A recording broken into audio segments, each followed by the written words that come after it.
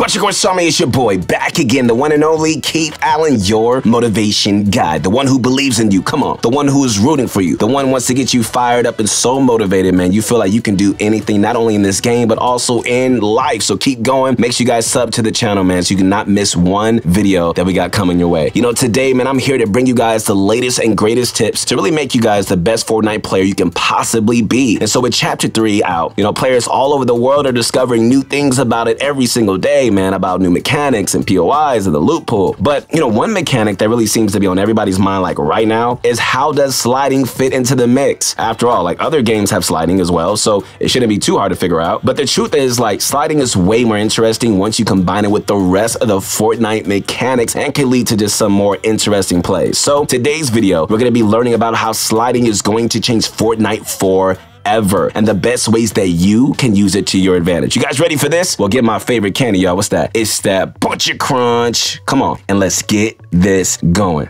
You know, sliding is a brand new mechanic featured in Fortnite Chapter 3. So what exactly does it do? Well, by just holding onto the crouch button, man, while running, it allows players to get an increased form of movement with the lower hitbox as they slide forwards. It's crazy. You know, sliding has, you know, many uses ranging from covering distance quickly to W keying your opponents. It's just versatile and it just really adds many new strategies and exploits to Fortnite. Since this is a very new mechanic, we're still in the experimentation phase where anything is possible. Like we don't even have any sliding courses on creative quite yet. However, as we discover new ways, man, it can be used. It really just gives us an idea of how we should be training this new mechanic. And so with each passing day, we're gonna be seeing players just trying new and interesting tricks. So how do we master sliding? All right, good question. Let's start with one of the more basic forms as well as something that you probably don't even know about yet. You know, if there is any place that sliding shines the most, it's on on a nice slope. Chapter 3's map is filled with plenty of biomes from grasslands, tropical islands, a hard winter landscape, and even perilous canyons. You know, it's just safe to say that there's a little bit of everything for players to explore. Now, if only we had the ultimate slope, a volcano, of course, like that'd be cool. Aside from biomes, we also have the surface, and this time we have plenty of high grounds and slope which complement the new sliding mechanic perfectly. Okay, so when a slide is used on a slope, you don't lose momentum. Instead, you continue to slide until your character reaches a flat surface and which is to slow down. This is perfect, guys, for when you want to get up and close and personal with an opponent for some aggressive takedowns. Our slopes are also a great way to really cover distance and even escape the storm when the occasion arises. This can be really useful for rotation. However, slopes aren't the only way to build your momentum. Like your glider is also an excellent way to do this, and you're going to see the result when you touch to the ground. For this to work, you need to start holding your slide key as soon as you deploy your glider. Next, you don't just want to let yourself gently glide down, you need to be moving forwards as you descend. If you do this correctly, guys, you're gonna hit the ground sliding at a boosted speed as if you were sliding down a slope. Not only that, the momentum still applies even if you're landing on a flat surface. This strat can really be quite useful, not just for the initial deployment, but if you ever end up redeploying using a launch pad. If you're interested in more interesting tips such as these, then gotta visit ProGuides.com by clicking on the link below. There you can find expert level coaching that's gonna help you whether you're a beginner or a seasoned pro. We guarantee that you're gonna see improvement in your Fortnite skills. Alright guys, so editing while sliding is an interesting new concept that has surfaced due to the new update. Crouching has always been used to really make yourself a smaller target to hit and giving you a chance at taking down your opponents. You know, the same idea really goes for sliding. Since sliding makes you a smaller target without compromising your speed while doing so, like using it while tarping is going to make you harder to hit in the late game. So during these times, like when you need to really keep up the pace and outrun the storm circle as well as the high skill players that are also trying to take you down, like every bit of help that keeps you out of harm's way is a welcome sight. You know, sliding opens the door for high-speed combat, which, when mastered, allows you to take down enemies quickly while also making yourself a harder to hit target. Normally, like the only real option for increasing your movement speed would be to get that chili pepper effect, which can be granted by items such as peppers or spicy fish. But sliding has given us another alternative for when we don't have those items in our inventory. Like for you to master sliding combat, you need to work on your aim. And so with the way Chapter 3 is built, aiming is just becoming more and more important. And the last thing that you want to do is just waste your slide by missing all your shots. So the two things you need to do while trying to land your shots is grow accustomed to controlling the direction of your slide and really keep your crosshairs on your opponent while moving at these increased speeds. All right, remember guys, this isn't just a faster sensitivity. Here, and I mean like right here, your whole character is moving so you can just, you know, really get accustomed to the quickly changing range and adapt to it. Sometimes during combat, you're gonna need to hightail it out so you can just really lick your wounds and just make a comeback later down the line. And so during these cases, sliding can be your savior since you can easily create distance between you and your enemies as long as you have an inclination. One useful way players are already starting to use sliding is for retakes. Like with sliding, you can get that extra boost in speed that can really put you in just the right position and claim away, you know, before your opponent even can. It's really the perfect tool for repositioning yourself during a fight. Sliding is also an excellent way of just breaking through an opponent's box while giving them just very little time to pull up a wall again. To do this, you need to start off by just either building a reverse ramp or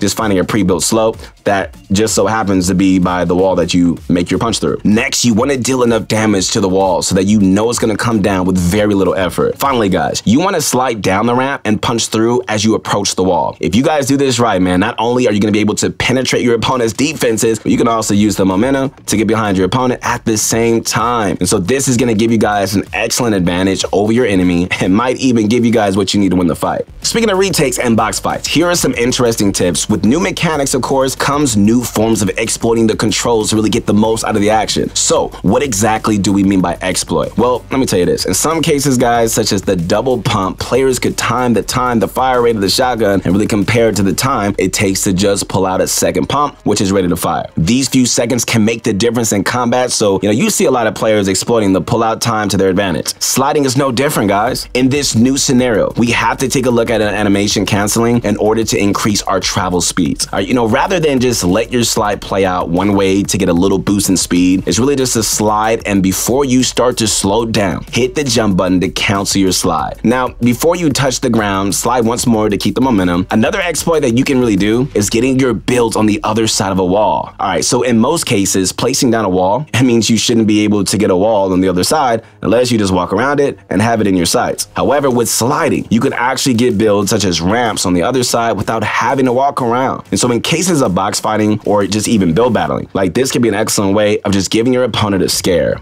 To do this, you need to slide downwards and then place your build as soon as you touch the wall. One way of doing this would be to slide down a ramp towards your enemy's box. However, this also works if you place down a cone. So all you really need, man, is an inclination, and after that, it's really just up to you. Now, if you want to be a cheeky player, looking for a new trick, all right, we got one just for you guys. Here we go. With sliding, you no longer have to be on the passenger side of a car to shoot your gun. Surprisingly enough, getting out of your car and just sliding also builds momentum. And so this allows you a brief moment where you could just whip out your weapon, do some damage, and use the momentum of your slide, keep up with your vehicle, and just get back in it. That's crazy, right? All right, so for more tricks like these, do not forget to check out our coaches here at ProGuides for more help and mastering the competitive meta. All right, so due to the limited uses of crouching in the previous meta, you might not have just even had the function keybind to really accommodate the new changes. You most likely crouch spam, but now with sliding doing this, it's not really quite possible since they share the same key. But with the added usefulness of sliding, you're gonna definitely find yourself using this new mechanic a lot more. And so because of this, all right, we highly recommend creating a second keybind specifically for sliding. You know, find somewhere that you can just have easy access to it, but just keep it separate from your standard crouch. Since crouching and sliding share the same keybind, like making yourself grow accustomed to separate keybind, it's gonna make it so much easier for your muscle memory to adapt to really tapping to a key to really crouch and holding a key to slide. All right, unless Epic just decides to split the keybinding later down the line, I mean, this is your solution for now.